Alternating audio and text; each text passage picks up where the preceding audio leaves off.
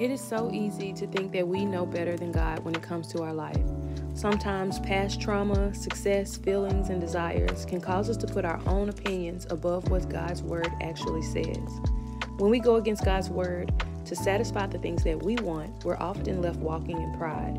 Biblical pride can be defined as self respect or improper and excessive self esteem, known as conceit or arrogance basically always elevating our own opinions above God's authoritative word.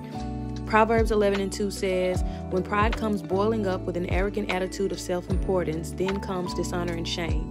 But with the humble, the teachable who have been chiseled by trial and who have learned to walk humbly with God, there is wisdom and soundness of mind. Do what he says.